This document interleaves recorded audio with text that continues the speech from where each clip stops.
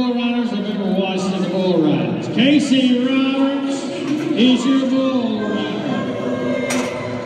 Let's watch Casey as he gets ready to go, coming in the number one spot. Snuggles is the bull.